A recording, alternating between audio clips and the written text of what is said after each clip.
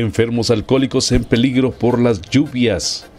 Bomberos voluntarios ya acudieron al llamado a salvarle la vida a uno de ellos. Es Douglas Aguilar, relacionista público de la institución, quien nos habla al respecto. Asimismo, en la segunda calle, entre la primera avenida y primera avenida A, eh, zona 1 aquí en Jalapa, se traslada al señor Delfino Salazar de 42 años de edad.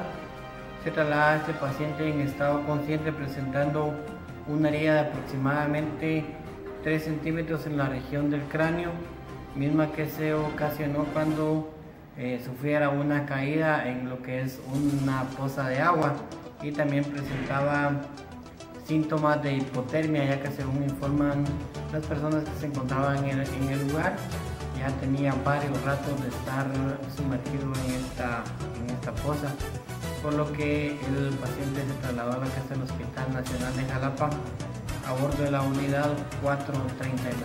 Este último paciente, Douglas, es un, aparentemente es un enfermo alcohólico, ¿no? Y es la situación que ocurre con varios que andan en la calle consumiendo bebidas alcohólicas. Sí, eh, como, como, bien eh, lo dice, este paciente sí se encontraba bajo efectos de licor. Lo encontramos uh, atravesándose en la calle en una posición, como decimos comúnmente, gateando.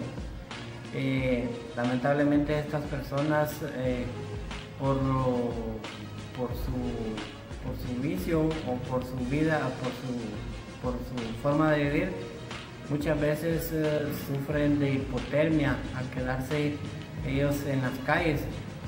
Anoche ocurrió lo mismo con una persona aquí cerca de la terminal el cual se encontraba totalmente mojado eh, y él ah, así a pocas palabras nos dijo que vivía en lo que es Colonia Busquen de Viena, eh, ya que no daba tanta información pues lo dejamos en el centro de la colonia, ¿verdad? Pero sí, lamentablemente esto está sucediendo ahorita con estas fuertes lluvias.